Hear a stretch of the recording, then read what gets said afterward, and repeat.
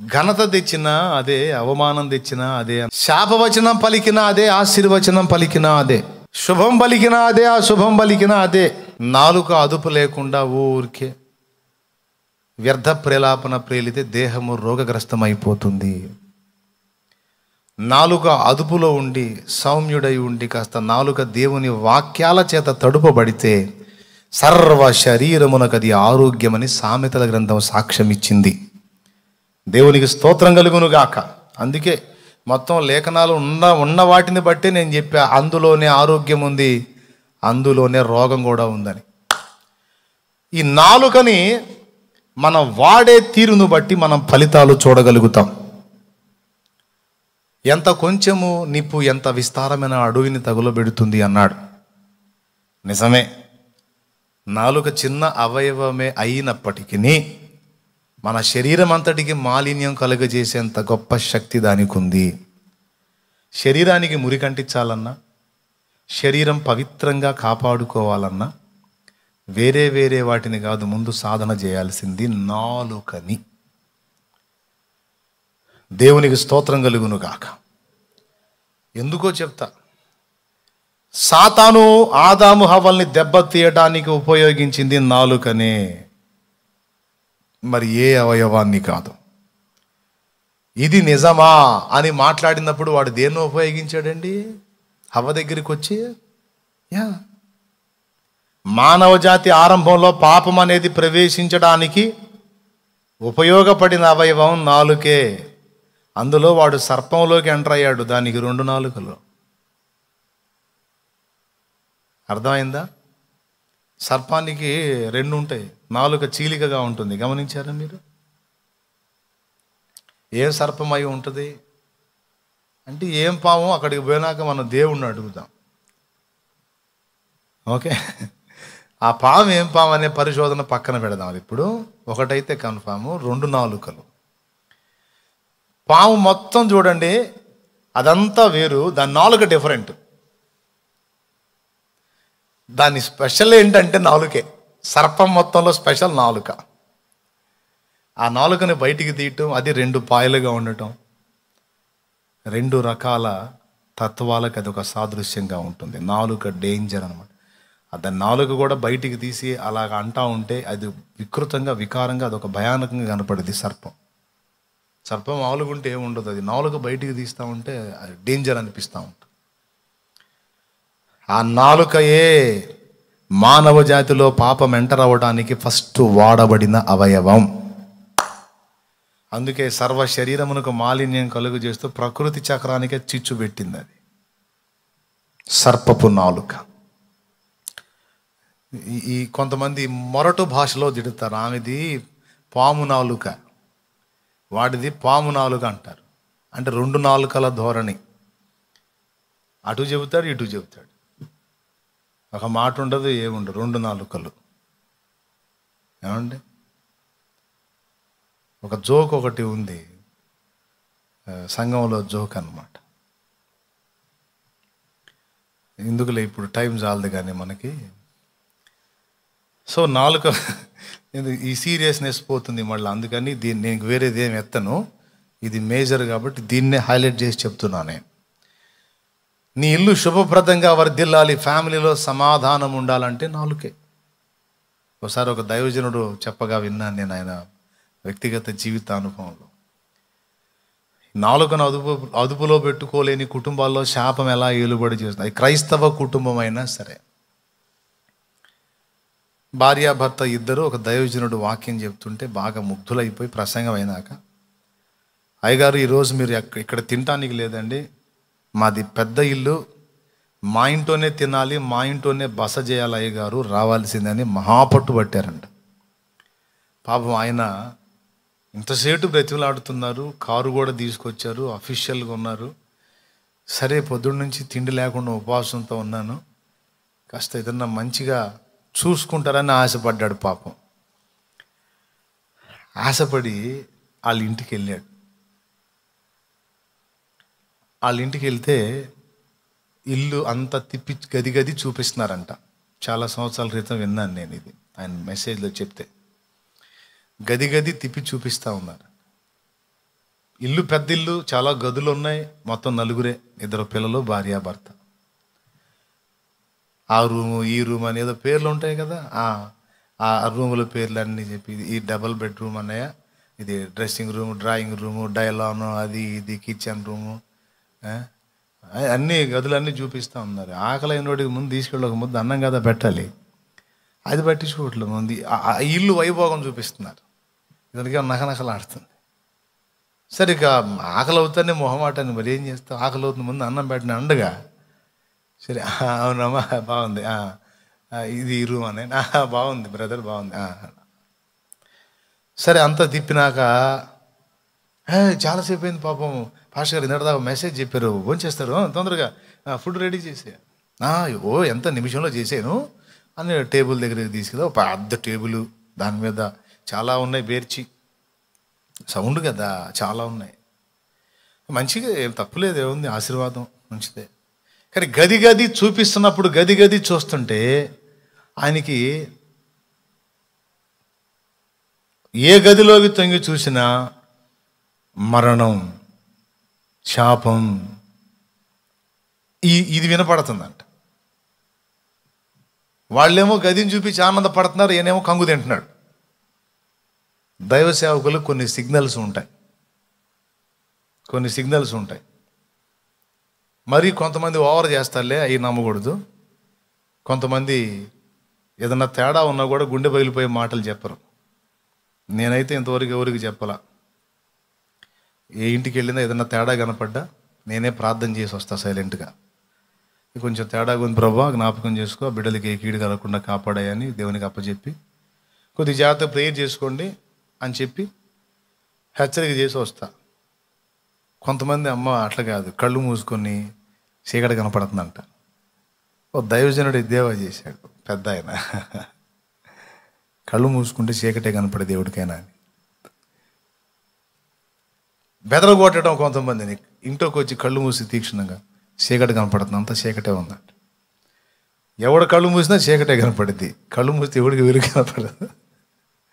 ఎదుటి వాళ్ళని బెదరగొట్టే తత్వం. అది అది రైట్ కాదు. కొంతమంది అలాగ భయపెట్టి అబ్బో ఇంట్లో తేడా ఉంది అట్లా ఉంది ఇట్లా ఉంది అని గందరగోళం చేసేసి భయభ్రాంతులకు గురి చేసి ఏదో వాళ్ళని మనీ మైండెడ్గా తిప్పే వాళ్ళు కొంతమంది ఉన్నారు. అవి నమ్మకండి. మోసపోతారు. అట్లాంటివి నమ్మొద్దు. కొంతమందికి నిజంగానే కొన్ని చూపిస్తాడు అది. చూపించినప్పుడు యథార్థవంతులైతే వాళ్ళే మోకాళ్ళుని ప్రార్థన చేసి ఆ శోధనలను బంధించి ఆ ఇంటిని ఆశీర్వదించి బయటకు వచ్చేస్తారు. దేవునికి మహిమ. ఈయన గది గది చూస్తూ ఉంటే అందులో ఈ శాపం కనపడుతుంది. వాళ్ళేమో బాగానే కళకళలాడుతూ ఉన్నారు మంచిగా అంతా బాగానే ఉంది. ఏంటిరా నేనేమన్నా డిస్టర్బ్ అవుతున్నానా? ఈయనకు అర్థం కాల. సో టోటల్గా మొత్తం మీద టేబుల్ దగ్గరికి వెళ్ళారు. పిల్లలు కూర్చున్నారు భర్త కూర్చున్నాడు. ఆమెమో వడ్డిస్తుంది ఆ పాత్రల్లో ఆ కిచెన్లోకి వెళ్ళి అయ్యి తీసుకొచ్చి వడ్డిస్తా. ఫస్ట్ భర్తకు వడ్డించింది దైవజనుడికి వడ్డించింది భర్తకు వడ్డించింది పిల్లలకు వడ్డించింది ఫుడ్. ఫుడ్ పెడతా ఉంటే ఆయన కూర వేసుకొని తిన్నాడు. వేసుకొని రెండు ముక్కలు రె- రెండు ముద్దలు కలుపుకొని తినేసి పెద్దగా కేకేశాడంట. అబ్బా! అని. అదిరిపోయింది మామూలు లేదు అన్నాడంట. మిగిలిన వాళ్ళకి జస్ట్ ప్లేటుల్లో అన్నమే పెట్టింది ఇంకా కూర ఇల్లే. ఈ మాట ఎప్పుడైతే అన్నాడో ఆ గిన్నె అవతలికి వెళ్ళి ఎత్తి టపామని పగలగొట్టి రూమ్లోకి పరిగెత్తుకుంటూ వెళ్ళి పెట్టమని డోర్ వేసిందంట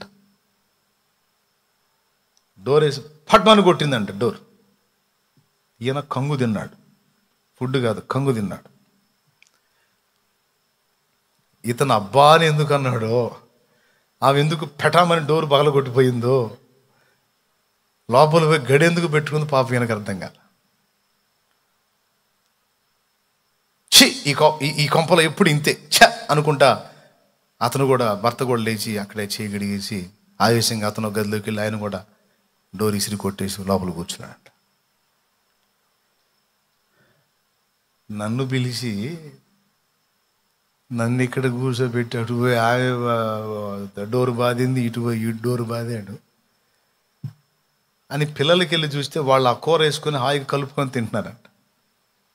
రే పిల్లలు నాన్న ఇటు పోయాడు అమ్మ అటు పోయింది ఏందిరా మీరు తింటున్నారంటే మీరు కూడా తినండి అంకులు లేకపోతే మీ కడుపు మాటిద్ది అన్నారంట. మీరు కూడా తినేసేయండి అంకులు లేకపోతే మీకు మాటిద్ది. మా ఇంట్లో ఇది రోజు మామూలేగా అందుకే మేము ఇప్పుడు తినకపోతే నిద్ర రాదు అంకులు. అందుకే మేము తింటాం. మరి మమ్మీ డాడీ ఎప్పుడు వస్తారంటే వాళ్ళకి ఎప్పుడు అలుగుడు పోయిద్దో అప్పుడు వస్తారంట. అలుగుడు ఎప్పుడు పోయిద్దిరా? అది మధ్యరాత్రికి పోవచ్చు తెల్లారినాక పోవచ్చు లేదా మరుసటి రోజు కూడా ఉండొచ్చు. వాళ్ళు చెప్పేటప్పుడు దడబడుతుంది.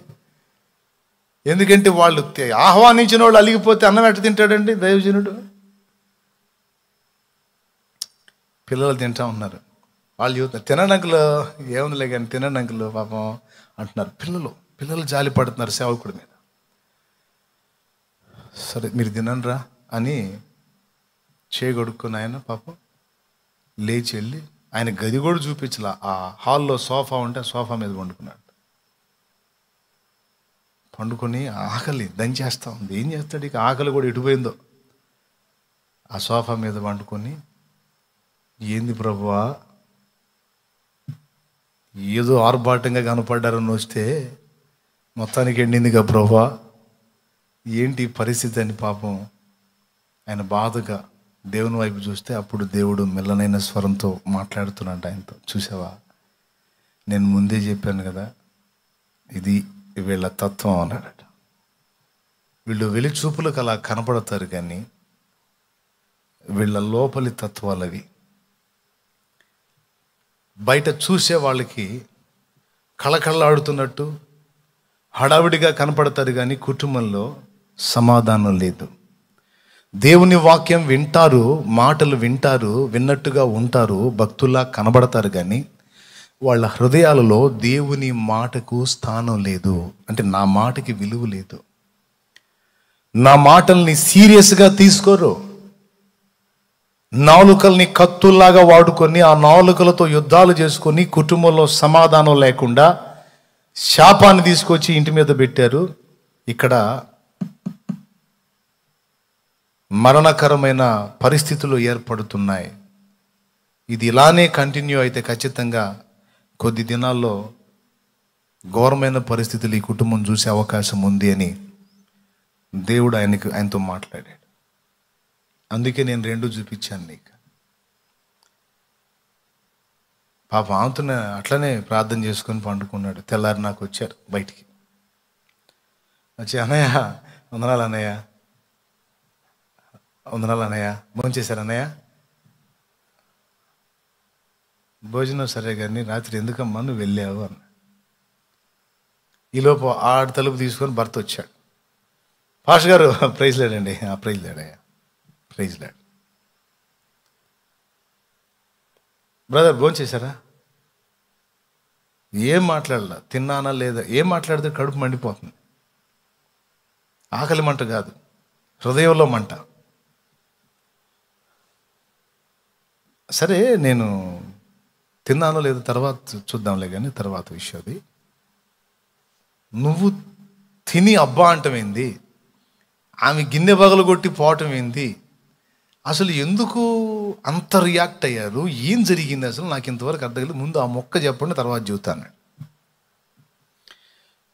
అప్పుడు చెప్పింది లేకపోతే చూడన్నయ్య ఎన్నిసార్లు కూరలు చేశానో నేను ఎప్పుడు మెచ్చుకోడు. ఆ పని మనిషి చేసేది చూడు ఆమె ఎప్పుడు చేసేటప్పుడు మాత్రం అబ్బా అంటాడు. ఇప్పటికి ఎన్నోసార్లు అన్నాడు. నాకు బాధ ఏదా అన్నయ్య? నాకు బాధ ఏదా? నేను చేసినప్పుడు మెచ్చుకోవచ్చు కదా? మెచ్చుకోడు. అందుకనే అంటే పని మనిషిని మెచ్చుకున్నాడని గిన్నె పగలగొట్టి పోయింది మహాతల్లి. అప్పుడు చెప్పాడనమాట నేను చెప్తున్నాను ఇంకా కొద్ది రోజుల్లో మీ ఇంట్లో ఒక కీడు కలిగే అవకాశం ఉంది. ఒక కీడు ఒక ఇబ్బందికరమైన సంఘటన జరిగే అవకాశం ఉంది. ఎందుకంటే ఈ ఇంట్లో నాకు మీరు గది గది చూపిస్తున్నారు కానీ దేవుని సన్నిధి కనపడలేదు నాకు ఇంట్లో. ఈ ఇంట్లో దురాత్మలు కనపడుతున్నాయి నాకు. దేవుని సన్నిధి కనపడలేదు. ఈ ఇంట్లో దురాత్మలు కనపడుతున్నాయి నాకు. ఎందుకంటే మీరు దేవుని బిడ్డలని పేరే కానీ మీ దగ్గర దేవుడు ఆశించే ఆత్మీయత అనేది లేదు. భక్తి అనేది లేదు. కానీ మీరు అన్నీ మామూలుగా చేస్తుంటారు. మామూలుగా ప్రార్థన చేస్తున్నట్టుగా ఏది ప్రార్థనకి వెళ్తున్నట్టుగా ఏదో చందా వేస్తున్నట్టుగా పాస్టర్లు కనపడితే భక్తుల్లాగా కనపడుతున్నట్టుగా కనపడుతున్నారు కానీ నిజంగా దేవుని సన్నిధిని గృహంలో నిలుపుకునేంత ఆత్మీయత ఆ విధమైన భక్తి అలాంటి స్పర్శ నాకు కనపడలేదు. ఎందుకంటే మీలో ఆ తత్వం కనపడింది. నాకు అదుపు లేదు. ముఖ్యంగా మీ నాలుకలు తేడాగా ఉన్నాయి. మీ మాటలు మీ ప్రవర్తన టోటల్గా దేవుని మాటను మీరు గౌరవించట్లేదు. కాబట్టి దురాత్మలు ఏలుబడి చేస్తున్న ఇంట్లో ఖచ్చితంగా దానికి సంబంధించిన కార్యాలే జరగబోతున్నాయి. జరగబోతున్నాయి. మర్యాదగా మారు మనసు పొంది సరి చేసుకుంటారా? సరే సరి. లేకపోతే నేను చెప్పింది జరిగింది. నేనేమో చిన్న సేవకుండా మీరు నన్ను ఇట్లా తృణీకరించవచ్చు. ఏముందిలే ఆడిది ఏముందిలే అని. నాకేదో అన్నం పెట్టకుండా పోయారని నేను మిమ్మల్ని అంటలా. నాకు నిజంగా దేవుడు చెప్పింది చెప్తున్నా. మారు మనసు పొంది మర్యాదగా మీ నాలుకల్ని దూషణకు వాడకుండా ద్వేషానికి వాడకుండా అసహ్యమైన పదజాలాలకు వాడకుండా మారు మనసు పొంది మీరు మీ పిల్లలు కుటుంబం కలిసి కుటుంబంలో కృతజ్ఞత స్తోత్రాలు వినబడేటట్లు జాగ్రత్త పడండి. స్తోత్రం చెప్పకయ్యా.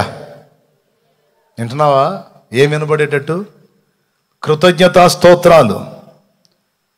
స్తుతి ఆరాధన ప్రార్థన విజ్ఞాపన. దేవుని వాక్యం. దేవుని వాక్యం వినబడేటట్టు జాగ్రత్త పడండి. ఆ వాక్యము ఆయన వాక్కు మిమ్మల్ని ఏలేటట్టు ఆ మాటలను అనుసరించి అనుసరించి బ్రతకడానికి మీ జీవితాల్ని లోపరుచుకునేటట్టు మీరు జాగ్రత్త పడితిరా శుభప్రదంగా వర్ధిల్లుతారు. ఆ- ఆ దురాత్మలు వెళ్ళిపోతాయి. దేవుని సన్నిధి వస్తుంది. లేకపోతే పేరుకే మీరు దేవుని బిడ్డలు కానీ మిమ్మల్ని ఏలుబడి చేస్తుంది అవి.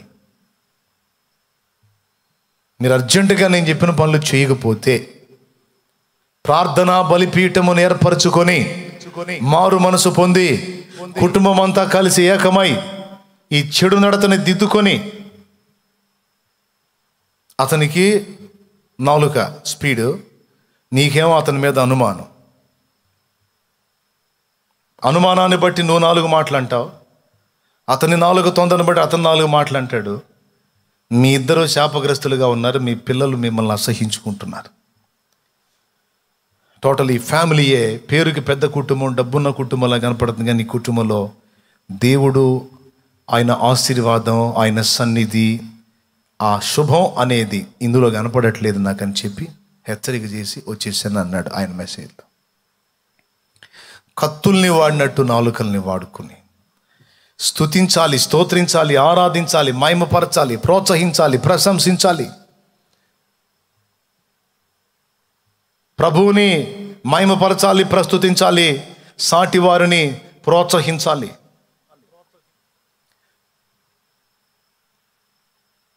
నాలుకని అవకాశం వరకు దేవుని స్థుతి కొరకు వాడాలి. నాలుకని అదుపు చేసుకోవటాన్ని సాధన చేయాలి. అది తేలికైన పని కాదు. టోటల్ బాడీ మొత్తానికి కనబడకుండా మురికి తగిలిస్తుంది అదే. జారత్వానికి కారణం అదే. మనం చాలా వరకు రోగాల బారిన పట్టడానికి కారణం అదే కుటుంబాలు శాపంతో మునిగిపోవడానికి కారణం అదే. కొన్ని కుటుంబాలు ఉంటాయి నోరు అస్సలు కుదరదు. భర్త నోరు అదుపు ఉండదు కొన్ని కుటుంబాల్లో భార్య నోరు అదుపు ఉండదు కొన్ని కుటుంబాల్లో పిల్లల నోరు అదుపు ఉండదు కొన్ని కుటుంబాల్లో ముసలోళ్ళ నోరు అదుపు ఉండదు కొన్ని కుటుంబాల్లో. ఏదో మాట్లాడేస్తారు మొత్తం కుటుంబం అంతా గందరగోళం గోల గోల గోల గోల. కాదంటారా? కాదంటారా? ఇది చిన్న మ్యాటర్ అని ఎప్పుడు తీసి చిన్న నాలుగే కదా అందుకని చిన్న మ్యాటర్ అని చాలామంది బుక్ అయ్యారు. పొరపాటును కూడా దాన్ని చిన్నగా అంచనా వేయొద్దు తక్కువ అంచనా వేయొద్దు. చిన్న మ్యాటర్ కాదు ఇది వెరీ డేంజర్ విషయం. ఉన్నదంతా కూడా అక్కడే ఉందని చూపించాను నేను. కాదని చెప్పగలవాను?